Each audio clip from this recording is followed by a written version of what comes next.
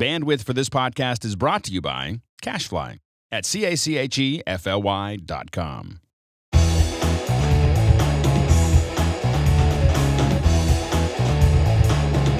Welcome back to another exciting, stupendous, amazing episode of Mac Break Studio. Is that enough hyperbole? No, that's good. Okay, good. So here we are back in the beautiful downtown Petaluma Studios uh, Pixel Corps, and we're going to talk about some of the new features of Final Cut 10.0.3, in particular, multicam. Multicam, yeah. They want to do, you're going to do a series on multicam. Yeah, it's a it's a big subject. It's funny because in one way it's very simple because multicam just works. It just works It- it- great. It, just works. But there's a few things that if you know will be very helpful for times when it doesn't work, or even when it does work. It's it's important to know a few workflow things. So I'm going to break this down into three separate things. We're going to talk today just about creating the multicam clip. Right. Just creating it. So bring uh, importing the footage, I'd imagine, organizing it, how how it, how, you know, how it gets the angles get sorted, that sort of Yeah. thing. Or skipping all that and seeing what happens. Because I like that. Because there is an option where you can just sort of like do it and it may work fine, but there's a few things you know. So I'm, I'm starting off here. So I'm in Final Cut Pro and I've actually opened the import window. So all I did, I created a new event called Multicam. It's an empty event. I clicked on Import Files, which brought up the Import Files dialog. And I've gone ahead and navigated, so you have to watch me do it, uh, and, and selected a set of folders. Now notice these folder names are named after the cameras from our multi-camera shoot. Okay, there's a 5D, a Canon 5D camera shot that. There's a 7D camera. And There's all a the footage inside it. yeah, and each one of these has footage inside it uh, for a particular take of the shoot. Audio, uh, a Sony EX1, a Sony EX3, um, some visuals and audio there. So the reason I'm mentioning that here is because we organized the clips into folders that have names, we can take advantage of that. Sure. Right. Using their the powerful metadata engine inside Final Cut Pro 10. Powerful, exactly. So what I'm going to do is click import folders as keyword collections. So immediately I'll have them organized by those By the folder names of the folders. By names of folders. Now, I'm not going to deal with anything else in here. I want to point out the transcoding thing to think about though, okay? There's options to create optimized or proxy media. Um, and as you've explained in your tutorials and everything, optimized media means ProRes. Uh, Proxy. Standard, standard. Oh, no, no, no. optimize is standard ProRes. You're right, regular ProRes. Right. It even it even tells you with little tooltip that tooltip ProRes 422 or proxy media will create ProRes proxy um, media. I generally recommend, especially if you're working with this kind of um, H264 long GOP media from these DSLRs, that you do both. Okay. You want to create optimized and proxy media. I would normally I would select both of them, but right now I'm not. Okay. And I'll I'll show you why. So I'm, I'm- right now I'm not going to bother doing that. If you do select them, that transcoding process will happen in the background. So it doesn't mean you have to wait for anything necessarily. You can start working. you can create your multi clips. You can do Yep. what you normally Yep. would. Start tagging and Yep. organizing. And, And as the optimized media is created, it's automatically swapped out for you. You don't have to think about it. You do need to manually switch to proxy if you want to, and more on that in a minute. Okay. So I'm going to leave them unchecked for now, and I'm just going to say import. So it'll bring these guys in, and uh, I didn't check that because I don't. I'm not interested in any background rendering right now. I just want to see what happens without changing it. Sure. So I've got the default media. So here is our multicam event with each of our keyword collections. So I select them keywords one, that were the once yeah. folders. So here's two clips shot on this uh, 5D. So they're both actually should be in the same angle. So just something to keep in mind that these two clips came from the same camera. Okay. This camera has a shot. This camera has a shot. There's some audio. Uh, this Your camera production audio. Production audio, right? This is the EX1 one shot, the uh, EX3, and then visuals is some motion graphics to go along to act as another angle. Okay. Now, um, normally what I recommend doing is some preparation on these on these media files. I'm going to see if I can make them a little smaller so we can see them here in my kind of low resolution for the screen capture. So I've got my files there, and what I would normally suggest doing is a little prep on these, and we'll talk more about that in a minute. But I'm going to I'm going to skip it for now. So again, I'm kind of doing the fast, the So you're gonna are you way. are, are you gonna have Final Cut Pro do the heavy lifting then? And Yeah, so I'm going to do Command A to select all those Got clips. Okay, I'm going to right click and choose New Multicam Clip. Okay. Okay, I didn't set a marker. I didn't add any metadata information. Stuff that's important to do, but you don't necessarily have to. So I'll say New Multicam Clip. And then this is kind of the key dialogue. And I'll just mention a few things here. I'm going to give it a name. I'll just call it TLB. It's a, the band is called Tiny Little Blackout. So I'll just give it a, a little uh, multi-cam clip, little name there. Now, these things are really important. Angle assembly, angle clip ordering, angle synchronization. Um, by default, they're set to automatic. And in fact, if you click Use Automatic Settings down here, you don't even see them. It's just a I, la la la. I don't know what's happening. I'm know. gonna trust Final Cut Pro to do I'm everything it Gonna, I'm gonna to trust it. Okay. Yeah. So I'm gonna. I'm actually gonna go ahead and do that. like I don't care what all that stuff is. I'm just gonna do it. I'm like, don't care. Now, what's happening is there was one checkbox in there that said use audio for synchronization. I did see Right? that. I did see that. right? Yeah. Since I didn't tell it any way to synchronize these clips, I didn't give a marker in there, Or time code. or time code, or an in point, all which are options. It's what it's doing. It's analyzing the audio in every one of those clips and figuring out how they should be aligned. And it can take a little, depending on how long the clips are, it can take a while to do that. Are we gonna sit and watch that happen? We are. It's actually going to go faster than you think. Okay, It- I, I hope because I did this before and I thought like we should watch it live so we really see what's happening rather What's than the just for the audience? Uh, how long are each of those clips? Just uh, Uh, they are about a minute and a half, and there's I'm doing seven different clips in here. The thing that's important to remember is two of those clips really should be in the same angle. right, the two drummer clips. Right, right, Right, but they were that particular camera was stopped and started. It was stopped and And started. it should so be in the same shooting- same essentially angle, so you can cut to it. So look, it's it finished. Oh, wow. So that You were right. Yeah, Look that was that. a lie. It was a lie. It, it makes you worry, but it's, it's going to be okay. So here's our new multicam clip, and you can tell it's a multicam clip because of this little a multicam clip. Say that ten times fast. multicam That little badge in the left corner tells you the clip type. Cliff edits multicam kit. Sorry. so now I'm going to double click on it Uh-huh. to open it up in what's called the angle editor. Okay, so this is not a compound clip. It's not a. You're not gonna be able to do I that. can't make it any bigger. Sorry.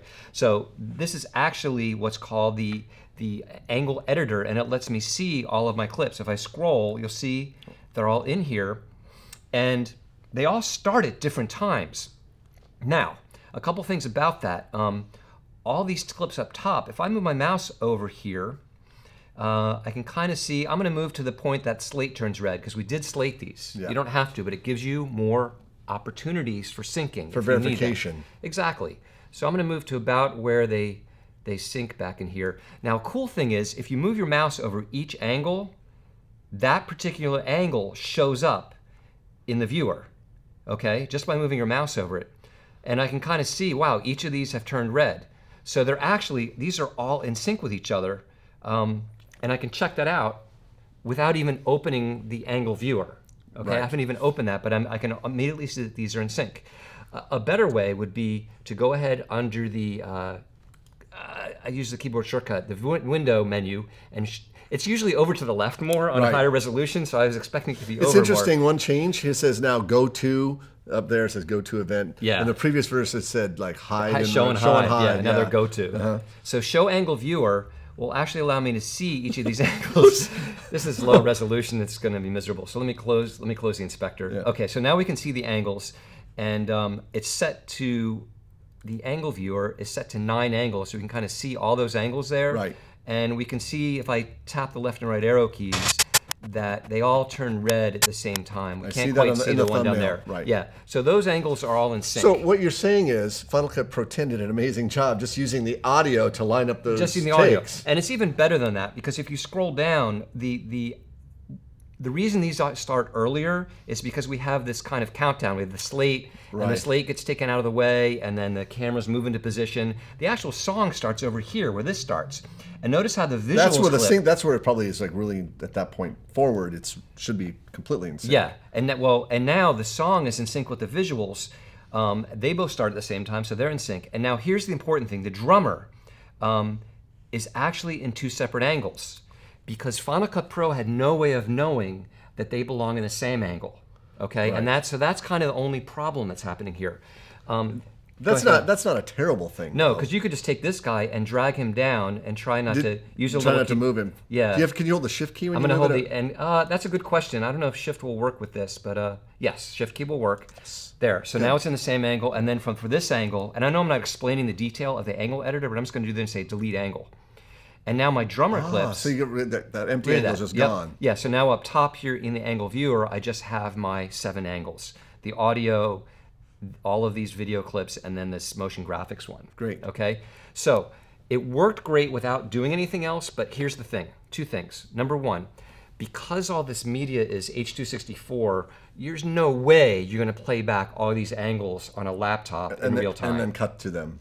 Right, because in order to be able to do your editing, which we'll do the next time, these things play in real time. Ideally, you're playing the Uh, I see where you're going with this. You started talking about optimize and proxy at the Yes, beginning yes. of this lesson. So you're going to show us how to play get get real time playback now. Yes. So I'm, I'm actually not going to detail. So my, my suggestion is one reason you create proxy when you import so that you'll have proxy footage.